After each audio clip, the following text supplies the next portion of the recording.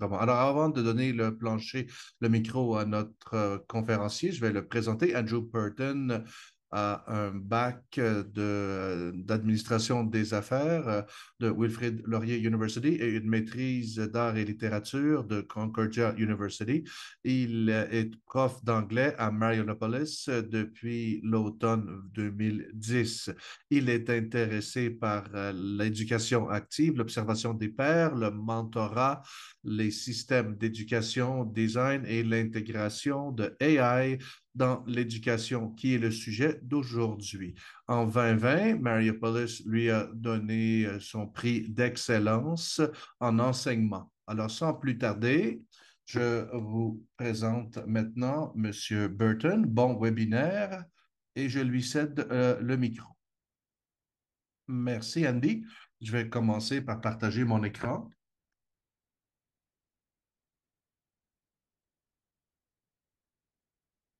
Est-ce que c'est bien, Andy? Tout est clair?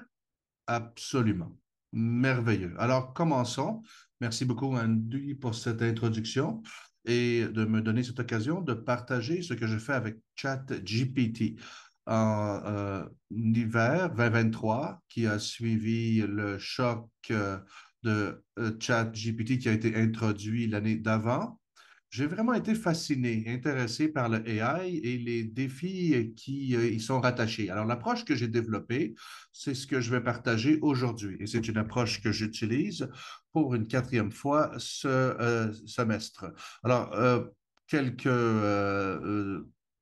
quelques éléments de, juste pour vous dire que je ne suis pas un expert de ChatGPT, je suis enseignant, mais ça reflète mon contexte à moi, contexte personnel, la discipline d'enseigner l'anglais à Marianopolis, être au cégep. Et euh, je ne m'attends pas nécessairement que d'autres pourront copier-coller directement mon expérience. Cela dit, ça sera un webinaire qui va focuser beaucoup sur l'implémentation pratique et technique. Alors, on espère que vous allez y trouver votre compte.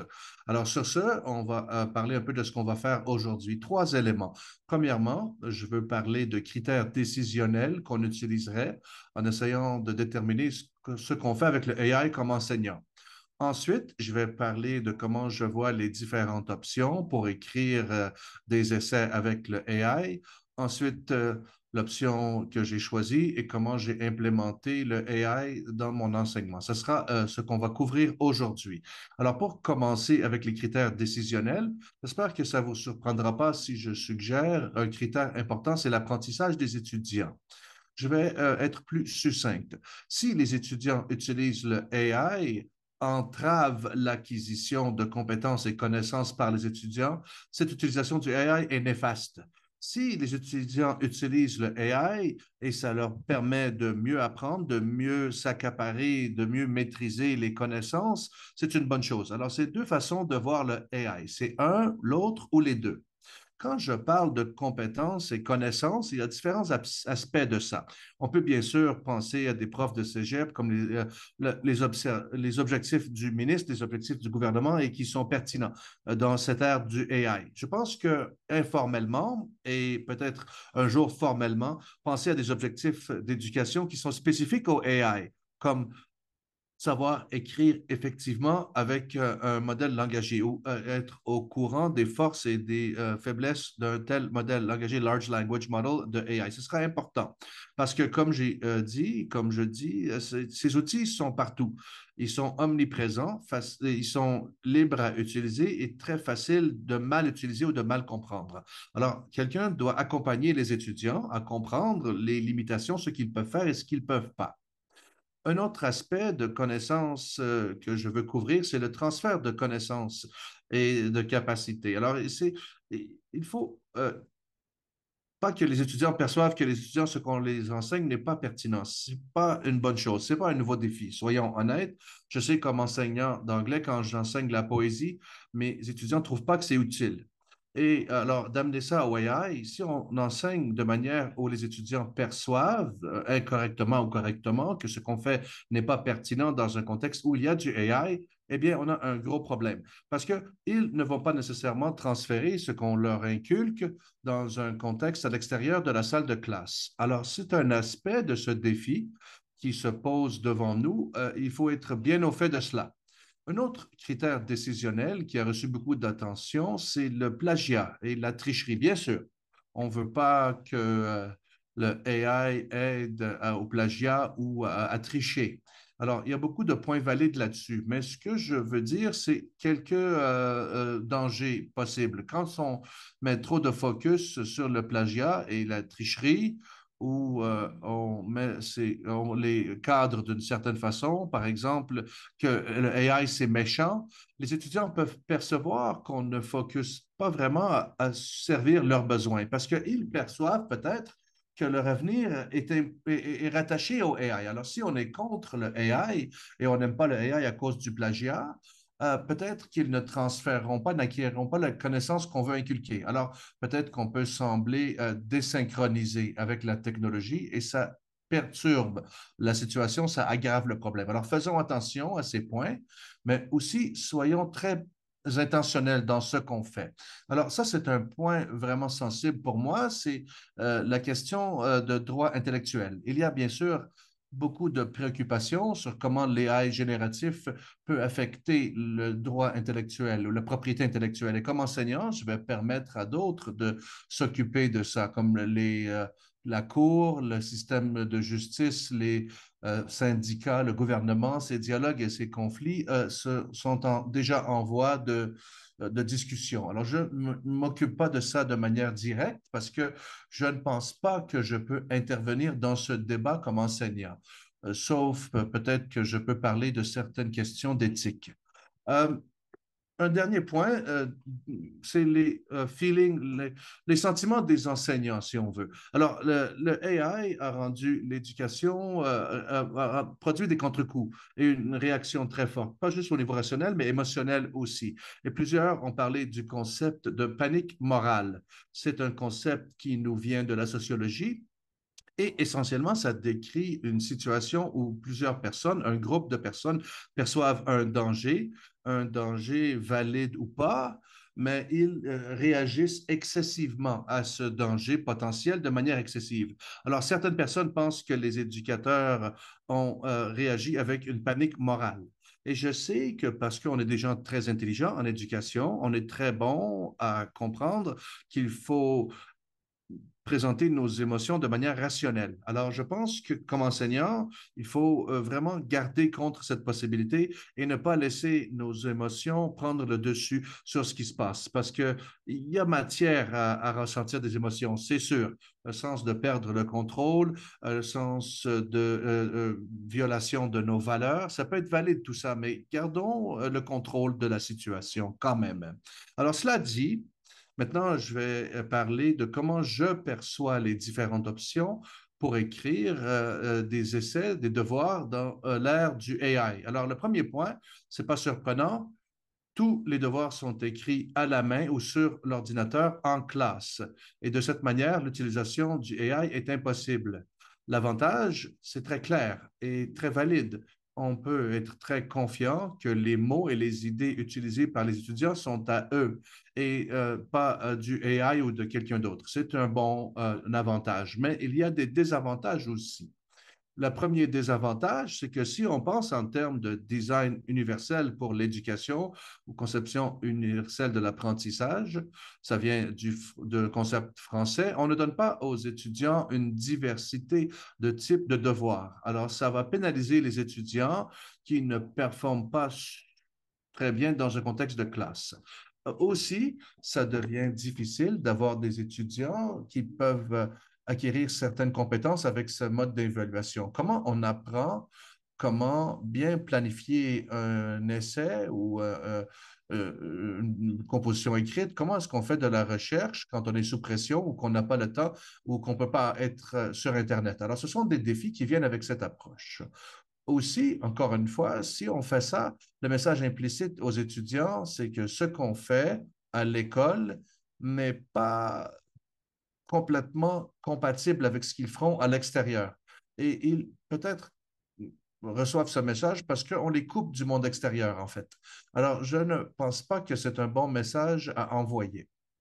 Donc, quelle sera une alternative? Une autre alternative, ça serait d'avoir des devoirs à la maison. Et l'utilisation du AI est possible, mais on leur dit de ne pas utiliser le AI, c'est prohibé. Alors, honnêtement, je ne vois pas l'avantage de cette approche. Euh, je pense que si on fait ça, si un prof fait ça, un enseignant fait ça, il va définitivement avoir des étudiants qui vont essayer d'utiliser le AI. Et maintenant, on est dans le rôle d'un policier. Et ça va prendre du temps, des efforts, de l'énergie, et ça nous met dans un rôle d'antagoniste. Ça endommage la relation avec les étudiants. Alors ça, c'est un problème. Un autre problème, comme on a bien compris, détecter l'utilisation du AI pour la production écrite est difficile et presque impossible. Ces détecteurs des AI, par exemple, je ne me rappelle pas des noms, mais il y a plusieurs détecteurs de AI et OpenAI. Euh, ils ne fonctionnent pas vraiment, ils ne sont pas fiables. Ils vont nous donner des faux positifs. On va accuser des étudiants qui n'ont pas utilisé le AI. Ils peuvent nous donner de faux négatifs aussi. On va manquer des étudiants qui ne l'utilisent pas. Alors, je dirais aussi qu'il y a un danger d'être surconfiant, qu'ils peuvent détecter le AI, oui ou non. Alors, j'ai vu des études là-dessus euh, sur les médias sociaux et les conclusions, c'est que les enseignants ne sont pas euh, capables avec constance de détecter le AI. Soyons humbles. Alors, je veux partager un échange qu'un collègue a entendu sur le campus de Marinopolis en octobre 2023 et ils ont partagé ça sur Facebook avec les étudiants anonymes, euh, en anonymité. Anonymité, deux étudiants qui marchent ensemble et un étudiant dit Hey, est-ce que tu peux m'aider avec les devoirs d'aujourd'hui? Il dit ça à l'autre étudiant. L'autre étudiant euh, lui réplique J'ai pas le temps de vous aider, de t'aider. Utilise ChatGPT comme tout le monde fait et tout va bien aller. Maintenant, comment est-ce qu'on réagit à cela? je veux dire que je ne suis pas surpris par euh, la réaction des étudiants. Si on pense à la perspective étudiante, ils sont sous un stress énorme, ils n'ont pas le temps, ils ont beaucoup de devoirs, ils ont certains objectifs en tête pour être dans des programmes contingentés. Si on leur donne une technologie qui va les aider, ne soyez pas surpris donc s'ils vont l'utiliser, surtout quand c'est euh, euh, légitimisé par les médias et les compagnies de grande technologie, des high-tech. Ce qui me surprend, c'est qu'un prof en octobre 2023, un an après le lancement du AI, euh, à grande échelle donne encore des devoirs où je présume les étudiants ne doivent pas utiliser ChatGPT, mais qu'ils peuvent le faire.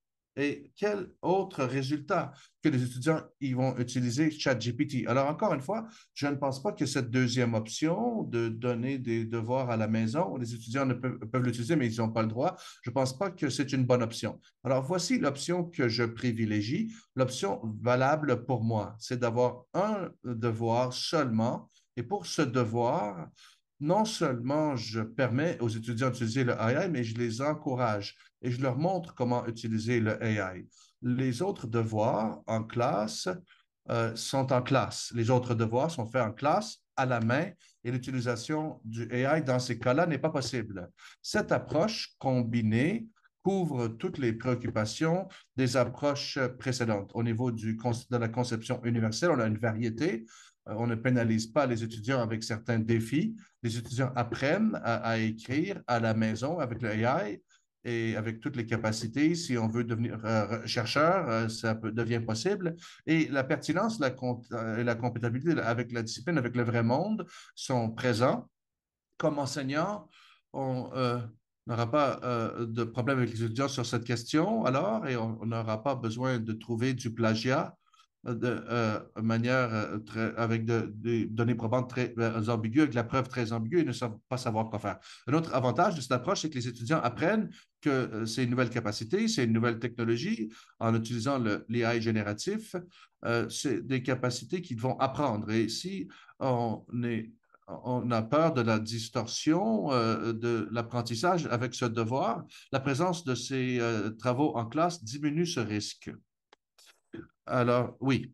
Alors, aussi, je veux dire que les étudiants qui utilisent les modèles langagiers comme le chat GPT leur permet, en accordance avec la conception universelle d'éducation, d'approfondir leur apprentissage et avoir de nouvelles, acquérir de nouvelles capacités. Et donc, pour mes besoins personnels, à moi, dans ma classe, le chat GPT est parfaitement placé. C'est assez bon pour offrir une aide, mais ce n'est pas assez bon pour remplacer mes étudiants et euh, donc les étudiants n'ont pas à faire les devoirs. Donc les étudiants doivent faire des choses comme poser les bonnes questions, avoir les bons prompts et peut-être changer euh, leur questionnement, leur prompt, d'avoir des meilleurs résultats et juger euh, ce que le chat GPT va leur offrir. Donc pour faire ça, ils doivent apprendre les concepts que je les que j'inculque pour utiliser le ChatGPT pour la production écrite. Ça devient donc un nouveau mode d'apprentissage où ils veulent appliquer euh, les connaissances relatives au AI et approfondir donc leur, euh, apprentissage. Alors, en résumé, cette troisième option, je pense, préserve les bons points euh, des devoirs à la maison qui ont toujours existé. Ça permet de nouveaux modes d'apprentissage qui vont améliorer l'apprentissage des étudiants et aussi euh, on veut minimiser les risques qui font en sorte qu'un résultat désastreux dans un cours, c'est peu probable. Alors, c'est comme ça que je vois la production écrite avec le AI. Euh, et je vais maintenant parler d'implémentation, de mise en œuvre. Comment est-ce que je mets en œuvre cette troisième option? De manière très concrète, le premier aspect de l'implémentation, c'est euh, même si je veux qu'il s'amuse et qu'il explore ChatGPT, mais je suis aussi inquiet sur les problèmes qui pourraient survenir. Et donc, de manière très défensive, j'ai fait en sorte que la tricherie dans les euh, euh, devoirs en classe, c'est plus difficile. Et je peux parler beaucoup de comment je fais ça, mais en résumé, où les étudiants écrivaient des essais sur deux classes, et ils continueraient à travailler sur le travail euh, du premier cours, le deuxième cours, qui leur permettrait d'avoir de l'aide entre les deux classes.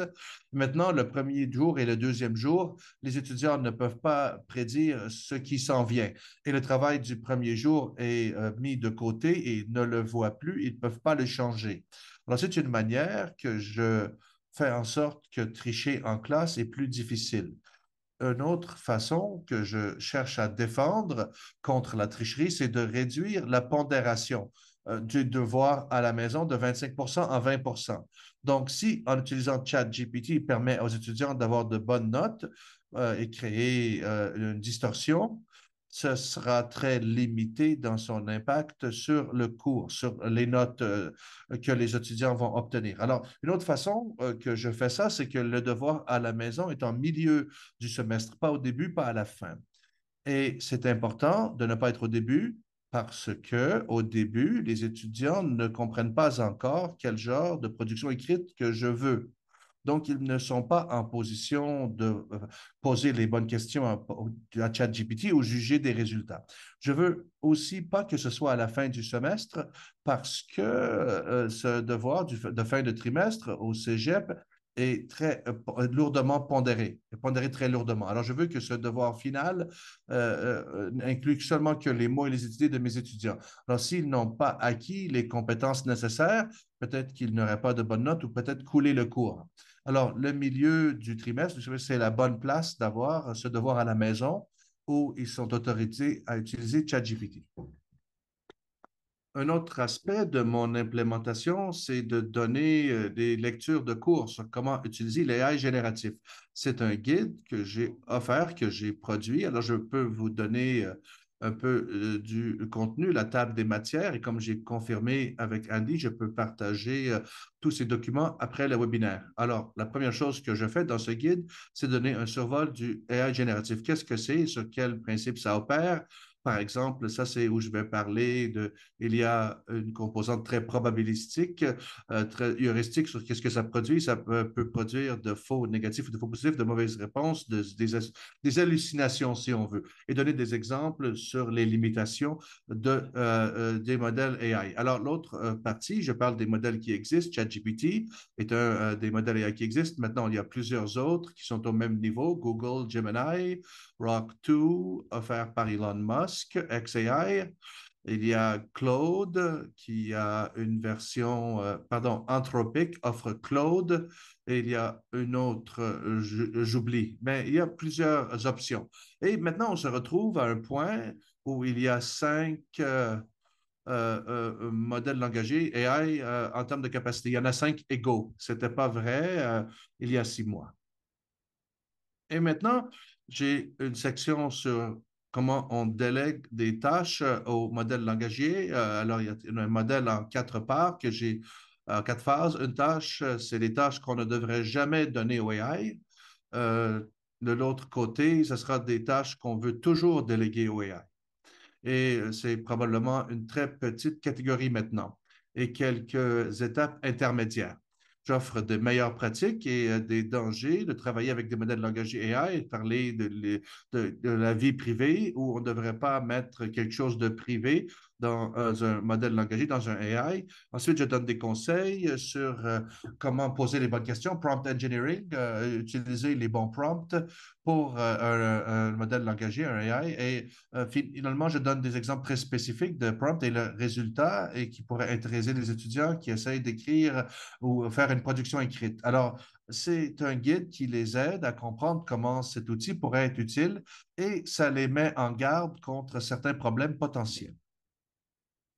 Un autre aspect de comment j'implémente cette approche, c'est après qu'ils aient lu ce guide, avoir un cours de 100 minutes qui couvre euh, euh, euh, comment les étudiants peuvent sauter à l'eau, si on veut, casser la glace, faire du travail avec le chat GPT pour voir comment ça fonctionne.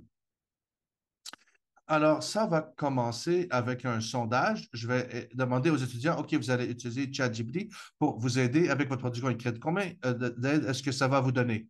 Ici, j'ai partagé les résultats de ce sondage de, il y a un an, euh, une introduction à l'anglais. Ce sont des étudiants de premier euh, semestre, de premier trimestre, anglais 101, si on veut. Et c'est comment ils ont répondu au début et à la fin, le avant et le après on voit comment ils ont répondu après qu'on ait fini euh, euh, d'utiliser ChatGPT, euh, nos expériences avec ChatGPT. Ce que je vois dans les résultats, c'est que personne pensait que ce serait sans utilité et personne pense qu'il peut tout faire à notre place.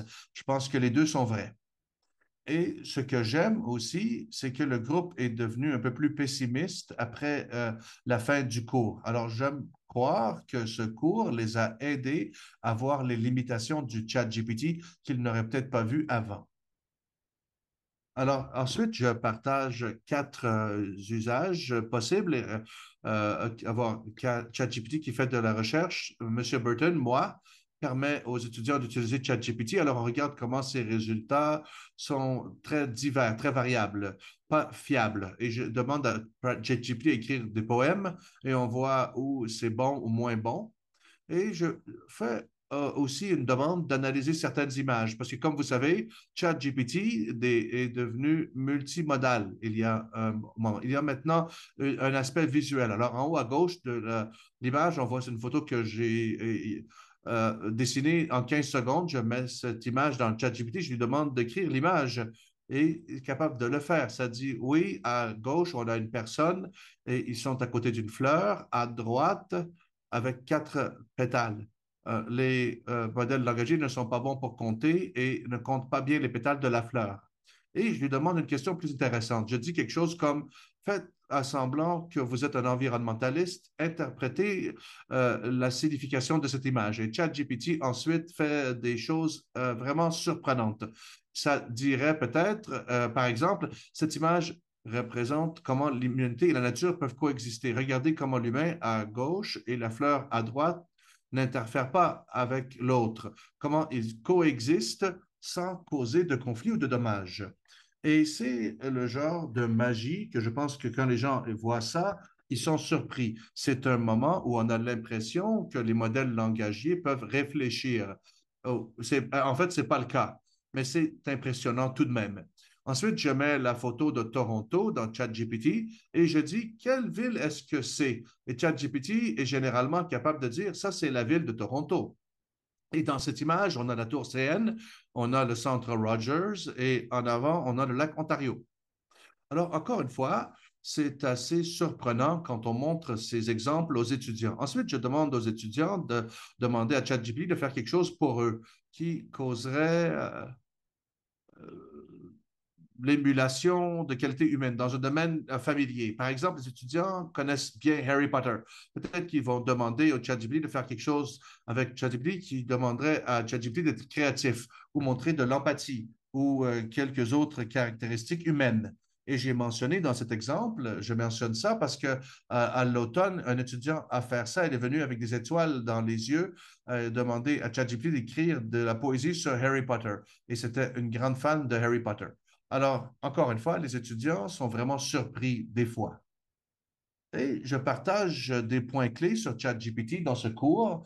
Par exemple, l'idée qu'on on ne connaît pas les implications pleinement de cette technologie, on ne sait pas les effets alors, et qu'il n'y a pas de guide d'utilisateur et euh, on doit apprendre euh, tout le monde comment bien utiliser ChatGPT. Et ensuite, le dernier élément, c'est là où on revient au cœur de la matière. Je leur donne une feuille et avec des questions euh, pour ChatGPT pour qu'ils puissent faire des tâches afférentes à la production écrite. Alors, les étudiants ont un sens très concret de comment le ChatGPT pourrait ou ne pourrait pas les aider avec la production écrite. Alors, c'est le cours, et j'espère qu'à la fin de ce cours, après avoir fait la lecture, euh, ils ont une meilleure compréhension de ChatGPT et les limitations de cet outil. Un autre aspect, euh, pardon, j'ai oublié cette diapo. À un point dans ce cours, je montre aux étudiants des images générées par ChatGPT ou euh, générées par le générateur d'images qui est intégré dans ChatGPT qui s'appelle Dolly. C'est assez incroyable euh, les résultats. Vous allez voir qu'il n'y a, pas euh, d'image où on, a écrit Marinopolis comme il faut. Il y a des choses bizarres avec les écouteurs et je mets au défi les étudiants de trouver des erreurs. Il y a une photo ici où il y a euh, cinq ou six doigts dans la main de quelqu'un. C'est une erreur du AI. Mais voici un autre aspect de l'implémentation ou comment j'implémente euh, ces devoirs où ils peuvent utiliser le chat GPT. Une chose que je fais, je les libère d'aller chercher toute l'aide possible qu'ils peuvent aller chercher. Euh, qu'est-ce que ça veut dire? Eh bien, je vais vous montrer, je vais vous lire euh, un extrait de la section intégrité académique du guide qui vient avec les devoirs. Normalement, les étudiants sont on s'attend à ce qu'ils font les devoirs de manière indépendante. Cependant, pour ce devoir, on encourage les étudiants à collaborer avec les autres et utiliser différents outils, par exemple les outils technologiques. Et en ce faisant, ça peut être légitime de manière éthique et euh, aider à développer des capacités importantes. En travaillant donc sur ce devoir, vous pouvez chercher l'aide des autres, d'autres étudiants, des parents, euh, les euh, correcteurs automatiques, AI chatbot, sur la composition, le contenu de votre essai et utiliser de l'assistance fonctionnelle de d'autres euh, personnes ou outils sera accompli à, à, travers une description de ces outils que vous avez utilisés euh, dans la section rapportage en dessous. Je vais parler de ça dans un instant. C'est peut-être euh, la chose la plus surprenante que je vais dire aujourd'hui. Je dis aux étudiants qu'il y a essentiellement pas de limite. Ce qu'ils peuvent faire, qui euh, constituerait de la tricherie. Vous pouvez parler à vos amis, parfait. Tu veux demander à ChatGPT de reviser quelque chose, allez-y.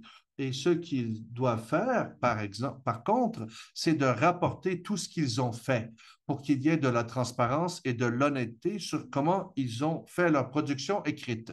Il y a quelques raisons pourquoi je fais ça. Premièrement, très important, c'est euh, la politique de Marinopolis sur l'intégrité académique, le document qu'on appelle notre IPESA, et c'est un document norme que tous les élèves ont. Dans ce document, euh, il y a certaines attentes pour euh, l'intégrité académique, mais aussi, ça dit à plusieurs reprises, les enseignants peuvent changer la définition s'ils choisissent de le faire. Alors, je prends avantage de cette permission c'est pas tous les profs qui font ça ou qui peuvent le faire. Alors, je pense que le type de production que je demande est assez difficile et très spécifique, que même avec l'aide d'autres, de d'autres personnes ou d'autres outils, les étudiants vont devoir faire le travail eux-mêmes en majorité quand même. Alors, je pense que j'ai raison là-dessus. Euh, euh, et finalement, ce n'est pas l'essai final. Rappelez-vous qu'il y aura une production écrite finale en classe qui vaut 40% de la note finale. Alors, si les étudiants n'apprennent rien de ce devoir, ça va avoir un impact sur leur performance et sur l'essai final en classe. Je les informe de ça. Ils ont donc un gros incitatif à apprendre de cet essai euh, de mi-trimestre. Alors, un autre aspect de mon implémentation, c'est de leur donner une méthode pour les citations. Et donc, je, suis fier de dire que le Modern Language Association, qui donne aux profs d'anglais nos méthodes pour euh, euh, les sources, les citations, et c'était très rapide euh, sur comment offrir les outils d'utiliser le, l'AI génératif. Alors, ça n'a pas de sens de citer le AI, de citer ce que le AI dit. Je vais juste boire un peu d'eau et on va couvrir le reste de ce point. Alors, c'est euh, ce que l'association Modern Language a dit dans un de ses blogs. Ils disent, vous devriez citer ou euh, donner la source d'un outil euh, AI quand vous paraphrasez ou incorporez dans votre travail tout contenu, texte, image, données ou autre qui a été créé par le AI. On doit aussi reconnaître toutes les utilisations fonctionnelles de cet outil, comme l'édition, euh, la traduction de mots, et dans une note ou dans un texte ou euh, à un endroit euh, convenable.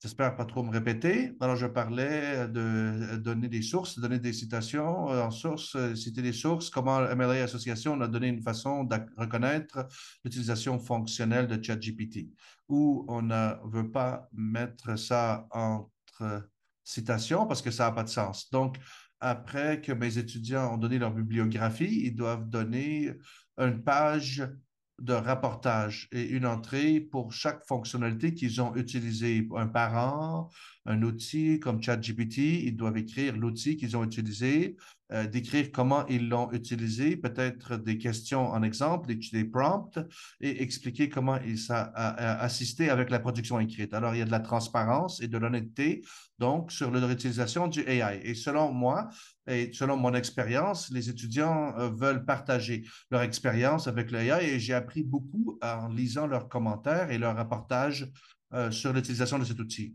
Un autre aspect, c'est de créer un processus de, composition qui donne du travail authentique et l'engagement des étudiants.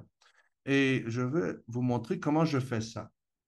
Alors, premièrement, pour écrire cet essai, c'est que les étudiants doivent euh, remplir euh, une liste, une feuille qui euh, donne un, un, échafaudage un peu de ce qu'on fait. on a une réunion, donc, un à un sur euh, ce qu'il propose. Oui, cette partie-là, c'est bon, ne faites pas ça, faites ça à la place. Donc, il me donne une ébauche et on a une approche, donc, euh, euh, sur laquelle on est d'accord, moi et l'étudiant. Ils ne peuvent pas dévier de cette ébauche, de cette approche proposée sans que je donne ma permission. Alors, ça aide, je pense, ça force les étudiants à devoir faire le travail de leur côté parce qu'ils ne peuvent pas, par exemple, prendre euh, le travail de quelqu'un d'autre et livrer autre chose. Et sur cette note, dans les instructions, je spécifie que si je vois que les étudiants ont des essais trop similaires, je vais demander à ces étudiants de faire des changements que je crois nécessaires. Parce que ce que je ne veux pas, c'est deux étudiants à collaborer ensemble, ensuite soumettre le même travail et je pense que c'est quelque chose qui pourrait arriver. Alors, je me protège de cette possibilité. Le dernier point dans ce processus, c'est d'offrir du feedback très riche que les étudiants lisent, analysent et appliquent durant un cours euh, spécifique dédié à ça. Quand je parle de feedback enrichi, je donne des commentaires écrits qui sont plus focusés sur la grammaire, mais j'utilise la reconnaissance de voix pour générer un document prose que je euh, euh, euh, avec chaque travail de l'étudiant. C'est la reconnaissance de voix m'aide à aller rapidement et c'est assez détaillé. Et après le cours de 100 minutes, les étudiants ont le cours pour lire ce feedback et utiliser une liste pour analyser et utiliser les commentaires, le feedback pour reviser ou changer un, paragraphe problématique. Cette feuille va aussi les aider, cette liste va euh, les aider à refléter sur le processus de production écrite, lister les questions qu'ils ont pour moi et identifier trois points où ils peuvent s'améliorer. À la fin donc de ce processus, J'espère qu'ils ont euh, acquis beaucoup de connaissances et de capacités et va les motiver à faire du bon travail avec le AI et leur propre travail. Euh, alors, en pensant à ce processus et comment ça veut amener de l'engagement et du travail authentique, j'ai eu de l'inspiration. Il y a un comité conjoint, un, groupe de travail conjoint sur écrire avec le AI qui a été produit par le Modern Language Association et un autre groupe qui s'appelle le CCCC, le Conference sur la composition collégiale et la communication, le CCCC. Je ne sais pas qui ils sont, mais je pense qu'ils se préoccupent de la production écrite au collège, collégial. Alors, ils ont euh, euh, ça à dire. Une réponse rapide, c'est qu'on ne milite pas pour euh, enlever la production écrite ou les raccourcir ou, travailler dessus seulement en classe ou d'autres environnements spécifiques. Euh, on veut adapter nos devoirs pour mitiger la, malhonnêteté, la distorsion en éducation, en décourageant la mauvaise utilisation le plus possible à travers les meilleures pratiques reconnues euh, pour euh, les devoirs de production écrite. La première chose que je veux dire, c'est que leur attitude envers la dégradation en éducation, la déshonnêteté, ils n'essaient pas de prévenir ça à 100% Ils disent qu'ils veulent mitiger ces enjeux. Ils veulent diminuer ces problèmes le plus possible et j'aime cette approche parce qu'ils se préoccupent de ces points, mais ils ne sont pas focusés seulement là-dessus. Ils sont vraiment focusés sur l'enseignement et euh, je pense que j'ai la même approche.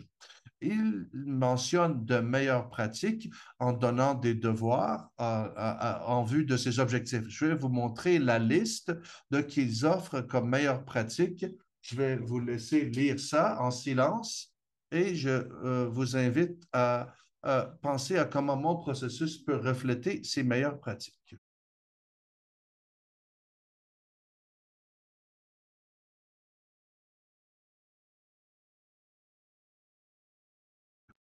Alors, euh, des évolutions de design pour appuyer la motivation intrinsèque, mettre l'emphase sur la connexion avec le professeur, les pairs, le mentor, les relations de mentorat dans la production écrite, assigner des étapes pour la production écrite et demander de la documentation et réflexion sur euh, euh, l'écriture. et ça reflète mon processus et c'est prouvé de bien fonctionner, je pense. Tester aussi dans un modèle langagier. Alors, un autre aspect de l'implémentation, c'est d'avoir des devoirs assez euh, difficiles qui portent un défi. Alors, qu'est-ce que je veux dire par là? C'est que dans mon cours, je suis très spécifique sur comment les étudiants doivent écrire leurs idées. Par exemple, dans mon cours anglais 103, Rites of Passage, rite de passage, je leur demande d'analyser un rite de passage qui utilise quatre, euh, euh, évalue quatre paragraphes avec onze étapes. C'est très peu probable que ChatGPT peut produire exactement ce genre d'analyse structurée de cette manière. Aussi, en anglais 101, par exemple, le premier euh, semestre, je demande aux étudiants d'écrire un paragraphe qui a quatre parties majeures et plusieurs de ces parties ont des sous-parties des subdivisions, si on veut. Cette approche très structurée veut dire que ChatGPT ne pourra pas adéquatement produire ce que je recherche. J'appelle aussi euh, pour euh, il y a des analyses approfondies, très logiques, très logiques, et ChatGPT a de la misère avec ça. J'assigne aussi de la littérature, de la lecture que ChatGPT a de la difficulté à, comprendre. Donc, euh, avant de parler de ce que c'est, qu'est-ce que euh, où ChatGPT a de la misère, ChatGPT c'est bon pour les choses où le texte est dans la donnée de formation, où le texte est disponible sur Internet, où ça peut être chargé dans un fichier? Et euh, vraiment, ce qui aide beaucoup, c'est s'il y a beaucoup de commentaires sur ce texte. Parce qu'en utilisant les, principes de probabilité, ça peut générer euh, quelque chose qui semble intelligent. Par exemple, pensez à une fable de La Fontaine. Euh, c'est partout sur Internet. Ils sont dans les données de formation euh, pour ces modèles langagiers. Il y a beaucoup de bons commentaires disponibles déjà. Alors, c'est facile pour euh, le AI de sembler intelligent en analysant les fables de La Fontaine, par exemple. Mais j'assigne des choses comme la poésie contemporaine qui n'a pas d'intérêt académique en général. Ça veut dire qu'il y a la dimension de forme poétique que euh, euh, traite difficilement. Il n'y a pas de commentaires vraiment qui existent sur Internet pour générer une analyse. Et le langage est très figuratif, très métaphorique, très axé sur les métaphores. Et ChatGPT ne performe pas bien dans ces conditions. les étudiants trouvent que ChatGPT est très limité dans euh, ce qui est possible dans ce cas. Un autre problème, c'est euh, les extraits de, euh, de production écrite de nouvelles et euh, ChatGPT a de la misère à commenter sur un livre de fiction. Il va commenter sur tout le livre au complet, sur cette œuvre de fiction. Alors, c'est des différentes façons où je rends ça plus difficile, spécifiquement pour un AI. Et le résultat, c'est que les étudiants doivent faire beaucoup de travail et donc ils apprennent. Alors, euh, voilà comment j'implémente cette approche d'intégrer le AI dans un, devoir en classe euh, ou à la, à la maison, pardon. Euh, donc, voici les résultats. C'est par sondage. Je n'ai pas le temps de lire tous les commentaires que je voulais partager, mais je vais vous donner des résultats numériques. Alors, j'essaie d'utiliser ChatGPT dans leur essai de production écrite euh, euh, l'automne euh, dernier. Voici ce que mes étudiants ont dit. Ma première question, c'est pour les devoirs à la maison, pensez-vous que c'était une bonne idée que j'ai permis aux étudiants d'utiliser le AI et avoir d'autres outils pour leurs devoirs à la maison? Et l'objectif, c'est d'acquérir des connaissances et des compétences. Voici ce que mes étudiants ont dit. Ils ont dit que c'était une bonne idée. 80% ont dit oui. Il y a 10% qui n'étaient pas certains et 3% ont, deux étudiants ont dit non et euh, c'est euh, mes deux cours de 101. Alors, ce n'est pas tout à fait sans étudiants. Alors, le message euh, en général, c'est que les étudiants pensent que c'est une bonne approche. Ensuite, j'ai dit, expliquez pourquoi vous avez répondu euh, de la sorte concernant euh, l'utilisation du ChatGPI. Les étudiants ont parlé de comment ils ont euh, bénéficié de ChatGPI, comment ChatGPI les a aidés, mais n'a pas fait le travail à leur place. Et donc, ces commentaires ont vraiment validé, encore une fois, que les étudiants, leur éducation ne sera pas distorsionnée par cette approche.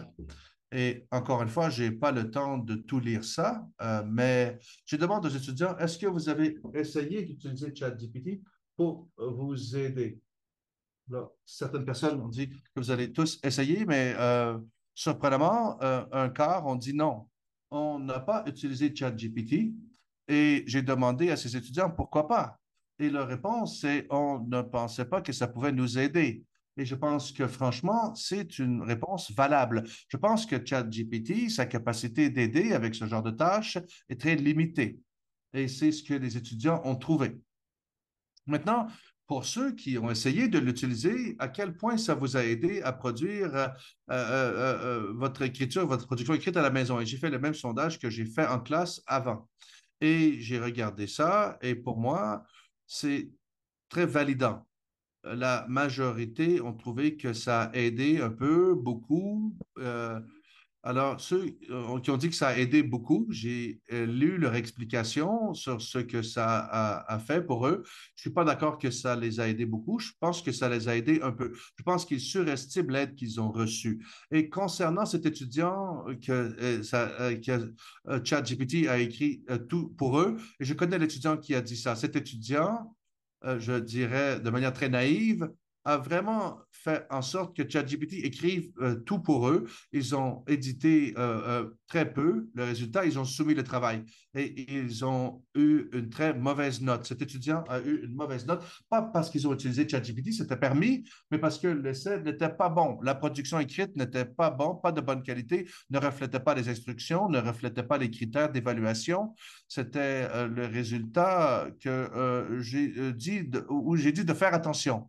Alors, la mauvaise nouvelle, c'est que l'étudiant n'a pas appris sur la production écrite en utilisant le AI.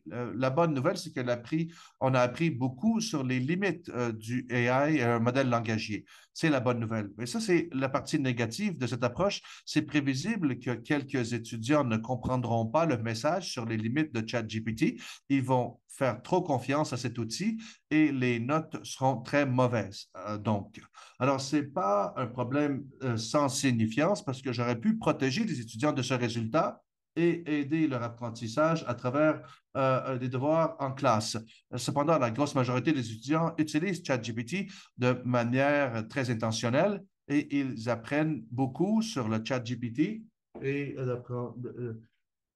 d'améliorer euh, et d'accomplir les objectifs. Donc, ma conclusion, c'est que cette approche en vaut la peine quand on considère euh, le positif et négatif. Encore une fois, il faut que je saute ces commentaires, manque de temps, euh, mais c'est des commentaires vraiment qui valident ce que je fais. Et je vais vous donner ce commentaire. ChatGPT est très surévalué. Je pense que les, les, enseignants devraient laisser les étudiants l'utiliser s'ils ont des critères très stricts sur l'analyse qu'ils s'attendent à avoir des étudiants. J'aime ça, c'est validant. C'est exactement ce que j'essaie de faire pour euh, les raisons euh, vraiment euh, qui sont là. Alors, je veux finir ma présentation avant de prendre vos questions en partageant qui ont été mes guides, mes exemples. Je ne suis pas un expert en AI. Ces six individus ont vraiment été importants parce qu'ils possèdent de l'expertise et de plusieurs façons, ils sont dédiés à explorer l'intersection du AI et la composition. Alors, s'il y a quelqu'un ici où je vais mettre en lumière, c'est Ethan Mollick. Il est très bon. Il euh, est euh, euh, vraiment très populaire, c'est viral son contenu. Il a vraiment beaucoup d'expérience à travailler avec le AI et actuellement, il est un prof d'innovation et d'entrepreneuriat à une université américaine. Alors, il a cet intérêt en innovation et en technologie, il a, il a beaucoup d'engagement avec l'AI. Il est un enseignant. Alors, toutes ces connaissances de AI euh, sont pertinentes à, l'éducation et à l'enseignement, et je pense que c'est la personne parfaite pour euh, ça. Il est super bon à vulgariser, expliquer les choses où quelqu'un peut bien comprendre. Alors, si vous voulez vraiment suivre le AI, si vous suivez M. Mollick, c'est merveilleux, il est très bon. Et c'est là que je vais m'arrêter. Et voyons voir, Andy, s'il y a des questions euh, avec les dix minutes qui restent. Oui, absolument. Merci, Andrew, euh, de partager euh, euh, vos expériences, vos apprentissages avec des exemples très concrets. C'est très apprécié. Jusqu'à maintenant, je n'ai pas de questions dans les questions-réponses, mais je vois que Guillaume Garès a levé la main. Alors, voyons voir si on peut prendre sa question. Pouvez-vous m'entendre? Oui, très euh, intéressant. Euh, euh, j'enseigne à Saint-Laurent. J'aime votre approche sur les données probantes et sur les sondages que vous avez faits. C'est intéressant de voir le nombre avec la distribution des étudiants et comment les étudiants sont variés dans leurs réponses. Je serais intéressé un jour de voir ça, de voir un sondage à plus large échelle avec euh, un échantillon plus large d'étudiants au cégep, peut-être euh, au niveau euh, plus large collégial au Québec. Bon travail et je vous encourage de continuer dans la même direction. Cependant, je suis curieux si j'écoutais la présentation et la surprise à la fin, c'est qu'ils apprennent sur les limitations de ChatGPT et dans ce sens, ils apprennent comment écrire un essai tout seul ça les amène euh, à la case départ. Et je me demande si vous voyez un devoir peut-être où euh, ils travaillent de plus près avec ChatGPT, où euh, ça, les, ça les, leur montre d'utiliser ça comme euh, outil constructif au lieu de faire le travail pour eux et leur montrer seulement sur les limitations, enseigner les limitations de ChatGPT dans un sens. Peut-être que je n'ai pas mis l'emphase assez, merci pour votre question, Guillaume, que je vois vraiment ça comme en étant utile, euh, comme étant euh, ayant des utilisations. Par exemple, il y a un paragraphe où j'ai montré aux étudiants de, donner un exemple sur une écriture très artificielle, avec beaucoup de mots et avec beaucoup de détours. Et vous demandez à ChatGPT de faire un précis de ça, et c'est surprenant à quel point ça performe bien, le ChatGPT, là-dessus. Donc, il faut penser à cette approche, mais il y a des choses où vraiment ça peut être utile. Et ce guide que je donne aux étudiants, la dernière section, c'est vraiment des exemples de questions, de prompts que je pense qu'ils peuvent utiliser et dériver de la valeur. Donc, une partie de pourquoi cette approche fonctionne, c'est que je ne suis pas là à, parler en mal du AI et parler seulement des problèmes euh, d'éthique ou de limitation. Si c'est seulement ça, je pense, je pense pas que ça fonctionnerait bien. Alors, peut-être que ça répond à certaines de vos préoccupations, oui. Oui, en effet. Et peut-être que je veux mentionner aussi que les notes ont été normales et euh, la distribution des notes sont vraiment euh, normales, de ce qu'on voit normalement. Alors, c'est euh, un exemple de comment ChatGPT ne fait pas le travail pour les étudiants ou d'autres outils possibles de parents, d'amis. il n'y a pas beaucoup de distorsion. J'ai une approche très spécifique à la production écrite et ils doivent vraiment faire le travail eux-mêmes. Merci. Merci, Guillaume. Merci beaucoup pour votre question, Guillaume. Et dans le chat, quelqu'un demande est-ce que vous voulez partager la rubrique que vous utilisez pour ce euh, devoir de production écrite avec votre groupe de 101? Oui, absolument. C'est un des fichiers que je vais partager. Après la présentation, vous dites qu'on euh, peut partager ça avec tout le monde. Oui, absolument. Donc, après euh, la fin du webinaire, vous pouvez nous donner un peu de temps, laisser le temps pour Andrew de partager tout ça. Ça va prendre quelques heures, mais on va partager euh, les fichiers euh, que Andrew veut bien partager avec vous par courriel. Stéphane Allary demande, dit Bon travail, c'est très intéressant. Quelle est votre approche perçue par vos collègues? Est-ce que vous avez eu de la résistance?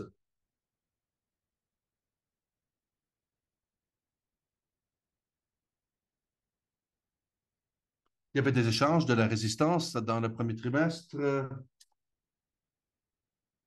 Il y avait du conflit et plusieurs profs ont réagi avec horreur du AI, ils ont une, réaction négative AI. Je ne veux pas valider euh, seulement la négativité. Il y a eu des problèmes, c'est vrai, mais je ne veux pas euh, euh, être contre ou pour le AI non plus. Je ne suis pas très en faveur et je ne suis pas très contre. Je vois ça comme un problème, comme un outil à apprivoiser et tous les bénéfices, euh, comme la limonade qu'on a, euh, qu'on produit avec des citrons. Peut-être qu'on ne veut pas de citron, mais on peut faire euh, de la limonade.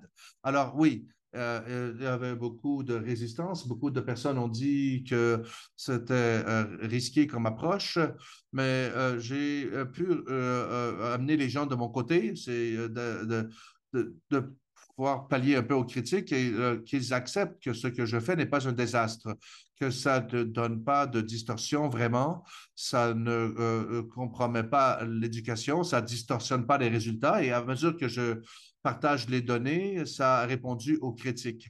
Mais oui, il y avait beaucoup de critiques au début, beaucoup de réservations au début et de conflits qu'on a dû, sur lesquels on a dû travailler à l'origine. Merci pour cette question, Stéphane. Est-ce qu'il y a d'autres questions pour Andrew? Il y a Guillaume, je ne sais pas si c'est l'ancienne main ou une nouvelle. Non? OK. Euh, alors, euh, s'il n'y a pas d'autres questions pour Andrew, alors, euh, je voudrais vous remercier pour votre participation et votre temps aujourd'hui. Le euh, webinaire de la semaine prochaine, on va parler euh, du réseau TI. Vous pouvez lire le résumé sur notre site web et rappelez-vous que Pédagogie collégiale maintenant est disponible en anglais et on est très excité d'annoncer qu'une version écrite du journal sera disponible à partir de l'automne en anglais aussi. Alors, je vais envoyer les fichiers à partager et euh, que Andrew euh, partage très généreusement. S'il est d'accord, je vais aussi inclure ces euh, informations. Si vous voulez le contacter avec vos questions, vous pouvez lui poser des questions hors ligne. Alors, encore une fois, merci de votre participation et de, votre présence et on vous souhaite une belle journée. Merci, Andrew. Euh, merci, Andy. Merci à tous.